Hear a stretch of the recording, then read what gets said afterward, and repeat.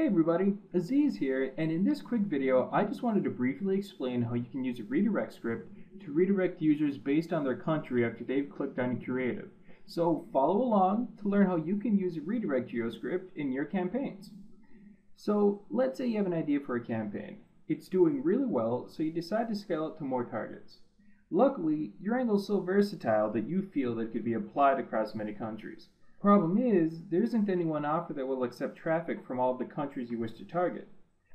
Luckily again, your angle is so versatile and awesome that you know it can be used with any offer in the same category. Now, while you can scale, you would be forced to make numerous campaigns and split them up accordingly to make sure that you send the right traffic to the correct offer, which will accept that traffic. This can be a tedious task and may end up being a micromanaging venture you just don't want to endure. Well, that's where we introduce a retargeting geoscript. Once set up to your specifications, you can create a campaign targeting many countries.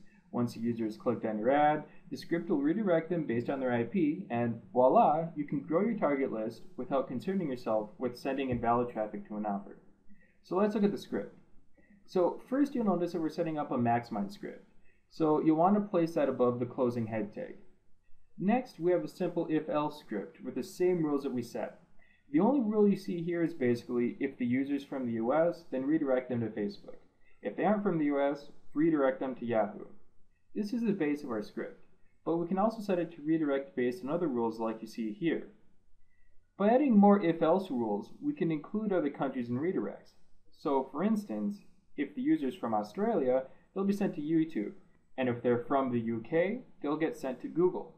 However, since we obviously don't want to send people to random sites, we just need to change the window location rule to proper directories, and we get a final product that looks like this. So now we have a system where if the user is from Australia, they get redirected to our index Australia lander and offer. If they're from the US, they get sent to our index United States lander and offer, and so on and so forth. Well, that's how you can set up your own redirect geoscript.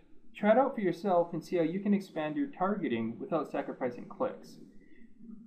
Well, everyone, thank you for watching. If you enjoyed this post, feel free to show your support by liking us on Facebook or following us on Twitter.